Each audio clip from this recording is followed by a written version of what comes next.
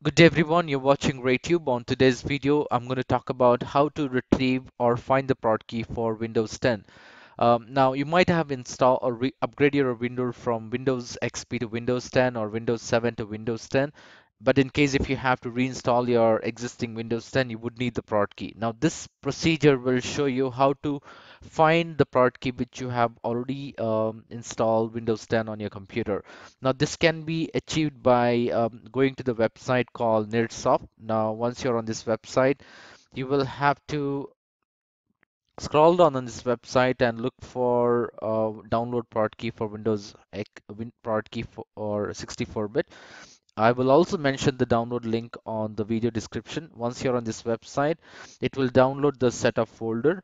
And once the folder has been downloaded, once you extract it, this is how it would look. Now, in order to find the prod key, all you have to do is you will have to do a right click on produkey.exe, run as administrator and when you get a user access control prompt, you may click on yes. And uh, the next window, what you will see on the screen is uh, ProduKey. Now, this will give you the prod key for uh, Office and also for Windows. So I hope this video was helpful for you guys. And in case if you like this video, please click on the like button and in case if you have any other methods to retrieve the prod key for your windows please leave me a comment in the comment section. And in case if you have not subscribed to my channel please do subscribe to my channel and hit the bell icon to get the notification for all the videos which I upload in future. Um, you have a wonderful day and thank you for watching. You, you take care